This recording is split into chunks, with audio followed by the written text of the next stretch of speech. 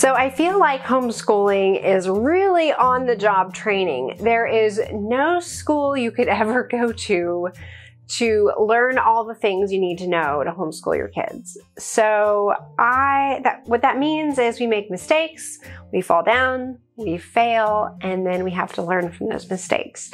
So I have been seeing a lot of those failures lately, and in this video I'm sharing what those look like, and also some of the lessons I've learned. This video is actually a collaboration with some other homeschool mamas so that you can also learn from their mistakes. So I'm going to just throw up the slide right now and you can see who is in this collab. So I'm Joy Cherrick and I am hosting the collab with Christy from One Blessed Mess. And we got together with Sodbuster Living, Rooted in Rest, Living with Eve, Our Blessed Life, Pennies and Salt, Simply Living It, and Home Sweet Homeschool. And I will link to the playlist down below so that you can go check those gals out as well. So the first way that I've failed in my homeschool is with my attitude. Over the last three or four months, our family has been in crisis mode. My husband lost his job just before Christmas, and then I just was grieving, and it was so hard for me to, you know, put a ha- happy face on. So I really, that's when I made the video about homeschooling during our bad days. And I think that was really crucial for me. But what I allowed to slip was my attitude.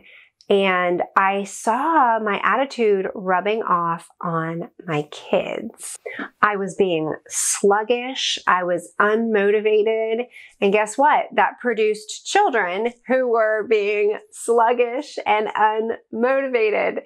So what I learned from that is that my attitude is contagious. And I have, I just had to figure out how to scale back and still move forward without just getting stuck.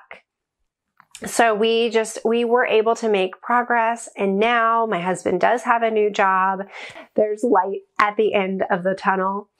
So we have been encouraged, but everyone goes through those slumps.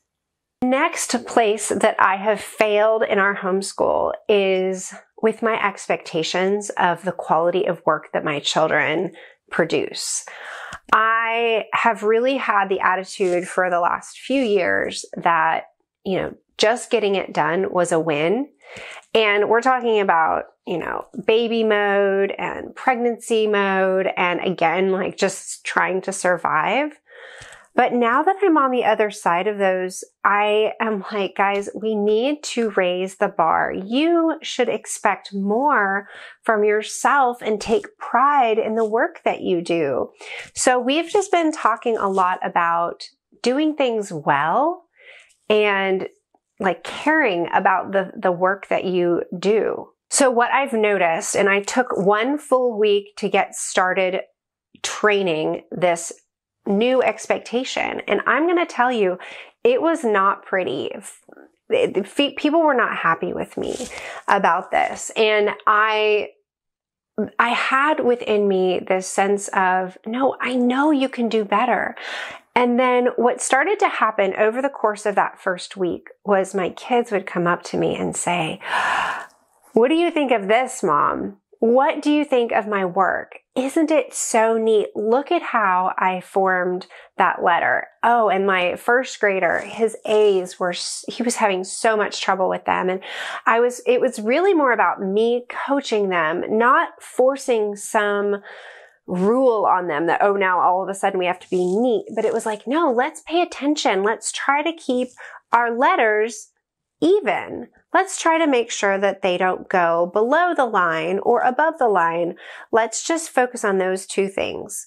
And my first grader, his work went from being just haphazard to, oh my goodness, his his penmanship is probably the best of all my kids right now.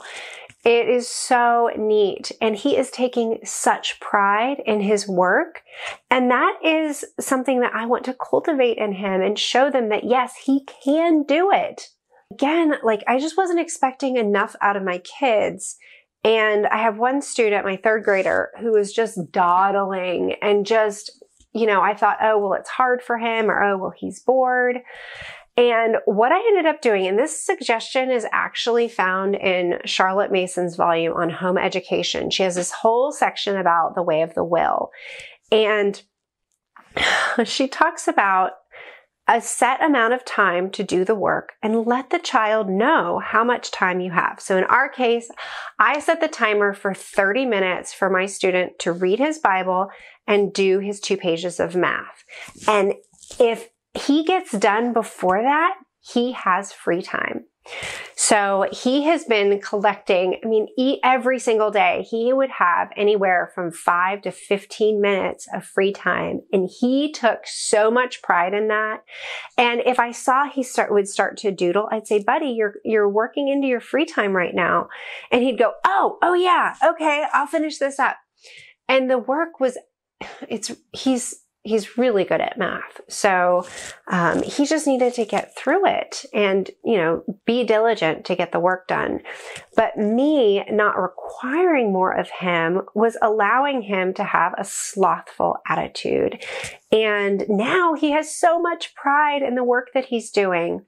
So what I've really learned is that we really don't want our students to learn more about themselves and be inward focused, but we want to teach them how to love the work that God has for them. And as students, the work that God has for them is getting an education, learning reading, writing, and arithmetic. And what I learned is that it's really more about coaching them and giving them the tools that they need to be successful than it is commanding and demanding. Education is relational. It's, it's give and it's take. And if a child is frustrated, it's probably because they don't have the proper tools. So if you have a first grader, second grader, sometimes even a third grader who is really having a difficult time with the abstract concept of numbers, you can just give them a hundreds chart or you can give them an abacus. And then that empowers them to find the answer without counting on their fingers and having to memorize it. They need to be led to the tools to help them succeed. Another way I failed in our homeschool is remembering that my education matters too. And what I mean by that is, uh, we started to do, we did a co-op last year and that incorporated some things like art and music.